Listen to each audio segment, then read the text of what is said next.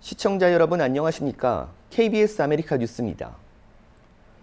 담을 넘은 무장 강도를 집주인이 총격 대응해 쫓아낸 사건 어제 보도해드렸는데요. 경찰이 오늘 사건 발생 위치와 함께 구체적인 추가 정황을 공개했습니다.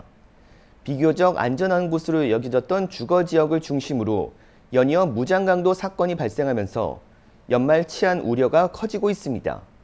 윤범수 기자가 보도합니다. LA 경찰국은 오늘 보도자료를 내고 지난 토요일 주택으로 침입한 무장강도 용의자들을 공개 수배했습니다. 용의자는 당초 알려진 두명이 아니고 세명 집안으로 침입한 두명 외에 밖에서 대기한 또 한 명의 공범이 있었습니다. 경찰은 안에 침입한 두명중한 명은 집주인이 총을 꺼내 대응하자 공범이 타고 있던 짙은색 세단을 타고 달아났으며 또 다른 한 명은 미처 차에 타지 못하고 발로 도주했다고 설명했습니다. 무장강도 사건이 발생한 이곳 행콕팍 지역 주택가는 한인타운을 중심으로 비교적 안전한 지역으로 꼽혀왔지만 최근 연이은 강력 사건으로 몸살을 앓고 있습니다.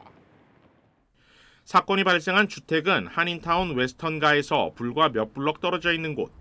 9월에는 바로 인근 지역 고급 콘도에서 한인타운 보석상 업주가 10만 달러어치를 털리기도 했고 8월 이후 지금까지 벌써 4건이나 무장강도 사건이 일대에서 발생했습니다.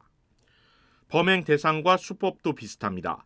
상대적으로 부위층이 사는 고급 주택가, 집에 돌아오는 사람을 노렸고 담장과 게이트를 뚫고 진입하면 오히려 속수무책으로 당할 수밖에 없다는 점을 노렸다는 것도 비슷합니다.